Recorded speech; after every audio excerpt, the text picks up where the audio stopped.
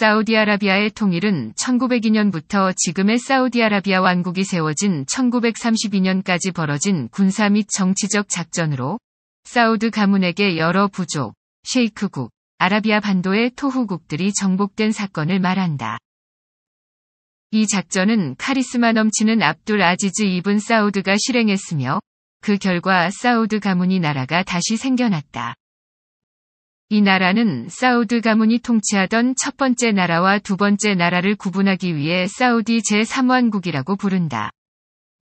사우디 가문은 사우디 제2왕국이 멸망하고 라시드 가문이 자발 샨마르가 흥하면서 1893년 오스만령 이라크로 쫓겨나 살았다.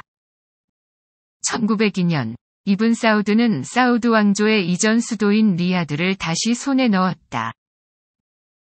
그는 네지드와 그 나머지 땅인 알하사, 자발 샨마르, 아시르, 헤자즈를 1913년부터 1926년까지 정복하러 나섰다. 그렇게 세워진 나라는 1927년까지 네지드 헤자즈 왕국이라 불렸고, 알하사와 카티프를 병합하면서 1932년 사우디아라비아 왕국이 되었다. 무함마드 이븐 압둘 와하브와 무함마드 이븐 사우드의 디리아 협정 이후 사우드 가문은 사우디 제1왕국을 세웠다. 이 나라는 이슬람 교리를 굳건히 수호하는 나라였다. 이때 생겨난 사상은 나중에 와하비즘라고 불리게 되며 중앙 아라비아의 네지드 지방에 있던 이 나라는 아라비아 반도의 대부분을 정복했고 1802년 무슬림의 신성한 도시인 메카를 손에 넣으면서 정점에 달했다. 메카의 상실은 1517년부터 그 신성한 도시를 다스리던 오스만 제국의 의상에 큰 타격을 주었다. 결국 오스만 제국은 사우드에 대한 조치를 취하게 되었다. 사우드 가문을 몰락시키는 일은 이집트의 강력한 무함마드 알리 파샤에게 맡겨졌다. 그는 헤자즈 지역에 군대를 보내 메카를 탈환했다. 그의 아들 이브라힘 파샤는 오스만 군대를 이끌고 네지드 지역의 중심으로 들어와 네지드 원정 동안 마을들을 점령했다. 디리아에 있는 사우드 왕국의 수도에 도달한 이브라힘은 1818년 겨울 디리아가 항복할 때까지 수개월 동안 포위했다. 그는 사우드 가문의 구성원들과 이븐 압둘 와합을 이집트 그리고 오스만 제국의 수도 콘스탄티노플에 보내고 나선 체계적으로 디리아를 파괴했다. 사우디 가문의 마지막 이맘인 압둘라 빈 사우드는 나중에 콘스탄티노플에서 처형되었다. 사우드 가문은 추방 이후 살아남아 사우디 제2왕국을 세웠다. 이 국가는 투르키 이븐 압둘라가 리야드를 1824년 정복한 이후 1891년 물라이다 전투까지 지속되었다. 첫 번째 사우디 국가와 달리 두 번째 사우디 국가는 영토 확장이나 종교적 열정에 신경을 덜 썼다. 하지만 이 나라는 불안정해서 자발 샨마르의 라시드 가문은 이 약점을 이용할 수 있었다. 결국 사우디 가문의 수장 압둘 라만 이븐 파이살은 1893년 오스만령 이라크로 피난을 갔다. 이 부분의 본문은 리아드 전투입니다. 1901년 압둘라만의 아들 압둘 아지즈는 리아드를 공격할 수 있도록 쿠웨이트의 에미르에게 사람과 보급품을 요청했다. 이미 라시드 가문과 여러 번 전쟁을 한 에미르는 요청대로 이븐 사우드에게 말과 무기를 주었다. 그 후 늘어나기도 줄어나기도 했지만 이븐 사우드의 병력은 약 40여 명 정도로 예측되고 있다. 1902년 1월 이븐 사우드와 그의 부하들은 리아드에 도착했다. 적은 병력으로 도시를 탈환하려면 알 마스막 성을 점령하고 도시의 수장 이븐 아즐란을 죽일 수밖에 없었다. 이븐 사우드의 군대는 성을 점령하고 계획대로 이븐 아즐란을 죽인 뒤 하룻밤에 도시를 점령했다. 조상대대로 내려오던 고향을 점령하면서 이븐 사우드는 지도력, 용기, 운 같은 셰이크나 에미르가 될 자질이 있다는 걸 증명했다. 그리고 이븐 사우드는 그 후 반도의 대부분을 다시 점령하고 지금의 사우디 아라비아를 세우게 된다. 이 부분의 본문은 사우디 라시디 전쟁입니다. 사우디 라시드 전쟁은 1903년에서 1907년까지 일어난 전쟁으로 제1차 사우디 라시드 전쟁이나 카심 전투라고도 불린 이 전쟁은 신생국인 리야드 토후국의 사우디군과 라시드 치하의 하일 토후국이 서로 교전한 전쟁이다.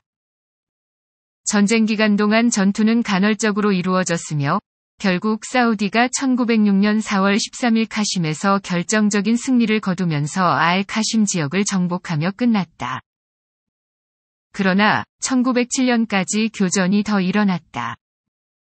1913년 지금의 사우디아라비아를 세운 이븐 사우드는 그의 리야드 토후국에 알하사와 카티프를 병합했다. 이 부분의 본문은 쿠웨이트 네지드 전쟁 및 우까이르 조약입니다. 쿠웨이트 네지드 전쟁은 이븐 사우드가 쿠웨이트를 병합하기 위해 일으켰다. 이븐 사우드는 쿠웨이트의 땅의 마땅한 주인이라고 주장했다. 쿠웨이트와 네지드 사이의 첨예한 갈등은 결국 수백 명의 쿠웨이트 사람들을 죽게 했다. 전쟁 때문에 1919년에서 1920년까지 간헐적으로 국경에서 충돌이 일어났다. 쿠웨이트 네지드 전쟁 이후 이븐 사우드는 1923년에서 1937년까지 쿠웨이트의 국경을 봉쇄하려고 했다. 이런 군사적, 경제적 공격은 쿠웨이트의 땅을 최대한 빨리 병합하기 위해서였다. 1922년 우까이르 조약에서 쿠웨이트와 네지드에 결정되었는데 이 조약에서 쿠웨이트를 대표하는 사람은 없었고 이븐 사우드는 퍼시 콕스 경을 설득해서 쿠웨이트 영토의 3분의 2를 달라고 했다. 결국 쿠웨이트 영토의 절반이 사라지고 말았지만 우까이르 조약 이후에도 쿠웨이트는 여전히 사우드의 경제적 봉쇄와 주기적으로 공격해오는 사우디군을 견뎌야 했다. 이 부분의 본문은 자르랍 전투 및 달인 조약입니다. 2월 영국 정부는 윌리엄 셰익스피어를 보내 이븐 사우드와 친밀한 관계가 되도록 공을 들였고, 그 결과 달인 조약을 맺을 수 있었다. 셰익스피어가 자르랍 전투에서 사망한 뒤 영국은 이븐 사우드의 경쟁자이자 헤자즈의 지도자인 샤리프 후세인 빈 알리를 지원하기 시작했다. 키치너 경은 메카의 샤리프인 후세인 빈 알리에게 이 갈등에 도움을 주라고 요청했고, 후세인은 그 대가로 정치적 인정을 받았다. 헨리 맥마흔과 편지가 오가면서 후세인과 그의 하수인들은 도움의 대가로 쿠웨이트, 아덴, 시리아 해변에 있는 대영 제국의 소유물과 권식을 제외한 이집트와 페르시아 사이에 있는 땅을 다 얻게 되었다. 영국은 달인 조약을 시작하면서 사우드 가문 이 땅을 영국 보호령으로 만들었다. 이븐 사우드는 오스만의 동맹인 이븐 라시드와 다시 전쟁을 벌이길 요청했고, 이븐 라시드와 전쟁을 벌이는 대가로 수당을 받았다. 이 부분의 본문은 알쿠르마 분쟁입니다. 제1차 사우디 하심 전쟁 또는 알쿠르마 분쟁은 1918년에서 1919년까지 네지드 토후국의 압둘아지즈 이븐 사우드와 헤자즈 왕국의 하심가 사이에서 벌어졌다. 이 전쟁은 헤자즈의 하심가와 리야드의 사우디 가문이 아라비아의 주도권을 두고 일어난 전쟁이다. 전쟁 결과 하심가의 군대는 패배했고 알쿠르마는 사우디와 그의 동맹군인 이크완에게 점령되었지만 영국이 개입하는 바람에 하심 왕국은 바로 멸망하지 않고 1924년까지 민감한 휴전이 이어졌다. 이 부분의 본문은 하일 정복입니다. 하일 정복은 또한 제2차 사우디 라시디 전쟁으로 불리기도 하며 영국의 군사적 지원과 동맹군인 이크완 부족과 함께 사우디 세력과 라시드 가문의 지도자가 통치 중인 하일 토후국을 상대로 교전한 전쟁으로 마지막 라시드 가문의 지도자는 자발 샨마르를 사우디 세력에 넘겨주었다. 그 결과 자발 샨마르는 사우디 세력에 완전히 정복되었고 곧 네지드 술탄국에 통합되었다. 트란스요르단 침공 이 부분의 본문은 이크완의 트란스요르단 침공입니다. 이크완의 트랜스요르단 침공은 네지드의 자기 멋대로였던 아라비아 부족인 이크완이 1922년에서 1924년까지 트란스요르단에서 벌인 연속적인 약탈 행위를 말한다. 이 약탈 행위는 네지드의 지도자인 이븐 사우드가 계획한 건 아니지만 그는 동맹군인 이크완 약탈자들을 막으려 하지 않았다. 허나 해자즈 정복 이후 이븐 사우드는 더더욱 이크완의 약탈 행위에 대해 비판적이고 부정적인 인식을 갖게 되었고 이는 결국 공개적인 불화로 그리고 마침내 1927년에는 유혈 충돌로 변하고 만다. 1920년대 초 트란스요르단의 에미르 압둘라의 지위는 그의 남쪽 영토의 네지드에서 온 이크완 부족이 와하비 침공을 벌이자 심각하게 위협받았다. 압둘라는 혼자선 이 약탈을 막을 수 없었기에 영국은 안만 근처에 있는 마르카에 약간의 공군과 군사기지를 두게 되었다. 1921년 이라크 침공 1921년 이크완들이 이라크 남쪽을 침공해 시아 마을을 약탈하여 이라크의 시아파 신도 700명이 죽었다. 이 부분의 본문은 사우디의 헤자즈 정복입니다. 사우디의 헤자즈 정복은 사우디의 술탄 압두라지즈 이븐 사우드가 하심 가문이 헤자즈를 차지하기 위해 1924년에서 1925년까지 벌인 전쟁으로 이 작전은 1925년 12월 제달을 함락시키면서 성공적으로 끝났으며 그 다음 해인 1926년에는 정복된 왕국의 영토가 사우디 가문이 다스리는 네지드 헤자즈 왕국에 흡수되었다. 이 부분의 본문은 이크완의 반란입니다. 사우디의 팽창이 1920년대 들어서 늦춰지자 이크완 부족 중 일부는 확장을 계속하려 했다. 특히 이크완이 1922년과 1924년 침략했던 트란스요르단처럼 영국이 직접 다스리는 땅이 그 대상이 되었다. 이크완의 지도자 무타이르 부족의 파이살 알 두와이쉬와 오타이빠 부족의 술탄 빈 바자드는 압둘 아지즈가 물러터졌다고 비난했다. 특히 알 다위시는 종종 빈 바자드에게 사우디 가문이 손잡이 없는 낙타 가방처럼 쓸모없다고 말하곤 했다. 결국 반란이 터졌고 사빌라 전투에서 그 절정에 다다랐다. 몇몇 사람들은 그걸 학살이라고 하지만 사우디 옹호 측은 이를 공정한 싸움이라고 생각한다. 1929년 내내 자발 샤마르와 아와짐 부족 근처에서 전투가 더 일어났다. 반란은 1930년 잔당이 항복하면서 진압되었다.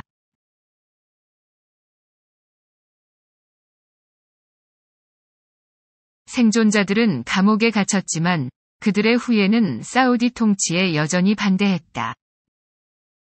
그 후예 중 하나인 주하이만 알 오타비는 1979년대 모스크를 점령하는 파렴치한 행위를 저질렀다. 1932년 9월 23일 사우디아라비아 왕국이 선포되었다. 이븐 사우드의 첫째 아들 사우드는 1933년 왕태자가 되었다. 아시르, 헤자즈, 그리고 네지드 지금 사우디아라비아의 남부 지방인 아시르 지방은 1차 세계 대전이 터진 1871년까지 오스만이 지배하고 있었다. 당시 에미르였던 하산 이븐 알리 알 아이드는 사실상 독립된 상태였고 아부하에서 지배하려고 했다.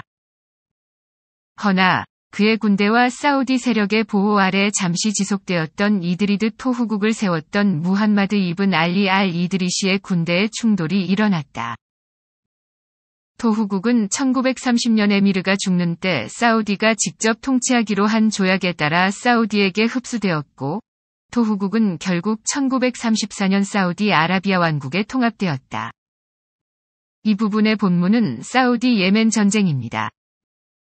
오스만 제국이 해체되면서 예멘주에서 이맘 무함마드 빈 야히야 하미드 아딘과 그의 후예에 의해 자이디 국가가 세워졌다. 예멘인들은 아시르의 일부를 차지하고 1933년 사우디 세력과 치고받기 시작했다.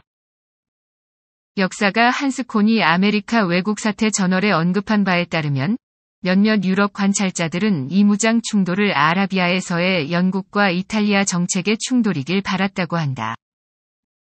영국은 사우디아라비아 편을, 이탈리아는 예멘 편을 들었지만 그는 두 지도자의 경쟁은 영국과 이탈리아의 경쟁 때문에 생긴 것도 아니고 경쟁으로 더욱 커진 것도 아니라고 했다. 허나 1998년 알렉세이 바실리예브가 쓰길 예멘의 영향력을 키우길 바랐던 이탈리아와 이맘 야하의 관심을 아덴 보호령에서 끌어내길 바랐던 영국 둘 다 이맘을 부추겼다고 한다. 사우디는 반격을 했고 예멘의 항구인 알 호데이따에 다다라 무슬림 우회와 아랍 형제의 조약을 타이프에서 맺었다. 이 조약은 메카, 사나, 다마스쿠스, 카이로에 동시에 발표되어 범아랍주의를 다시 한번 강조했다.